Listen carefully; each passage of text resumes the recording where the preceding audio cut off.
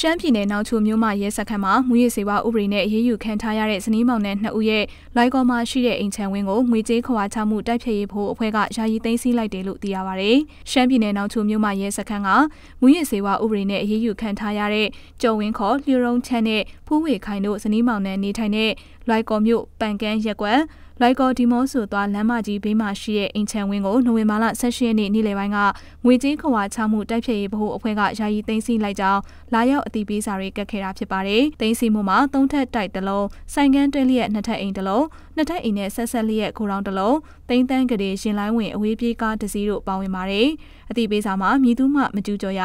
ငွေကြေးခွာချမှုတိုက်ဖြတ်ရေးဗဟိုအဖွဲ့ငွေကြေးဆိုင်ရာစုံစမ်းထောက်လှမ်းရေးအဖွဲ့စီစီရေးအဖွဲ့တို့ကယာယီသိမ်းဆည်းထားတယ်လို့ရေးသားထားပြီးဝင်ရောက်ကျူးကျော်ပြောင်းလဲလွှဲပြောင်းဖျောက်ဖျက်ပါကဥပဒေအရအရေးယူခံရမယ်လို့ဖော်ပြထားပါတယ်။အိမ်ချံဝင်းဟာလွန်ခဲ့တဲ့ဆယ်လခန့်ကစတင်ကအိမ်ရောက်မယ်လို့ဆိုင်းပုတ်ကတ်ထားပြီးငွေကျပ်သိန်း1000နဲ့ရောင်းချဖို့ဈေးဆိုင်ထားတဲ့အိမ်ချံဝင်းဖြစ်ကြောင်းအိမ်ချံမြေအကျိုးတော်ဆောင်တွေထံကသိရပါတယ်။ဖန်စီအရေးယူခံထားရတဲ့ကျော်ဝင်းခေါ်လျှို့ရုံးချမ်းနဲ့ဖူးဝေခိုင်တို့ဇနီးမောင်နှံတို့ကိုရှမ်းပြည်နယ်မှာဖမ်းမိခဲ့ပြီးတဲ့နောက်၎င်းတို့နေထိုင်တဲ့မန္တလေးမြို့ပြည်ကြီးတကုံမြို့နယ်တင်ပန်းကုန်းရက်ကွက်မှာရှိတဲ့သုံးထပ်တိုက်ကိုအမှတ်၁၈မူရစ်တပ်ဖွဲ့စုကတပ်ဖွဲ့ဝင်တွေက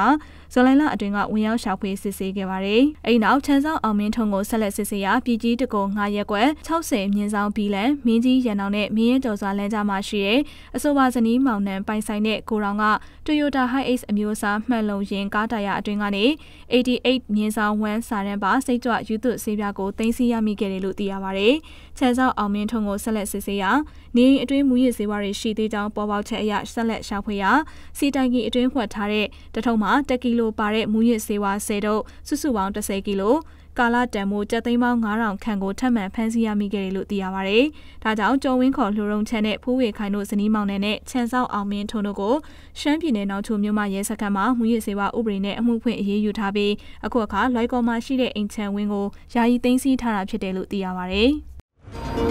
။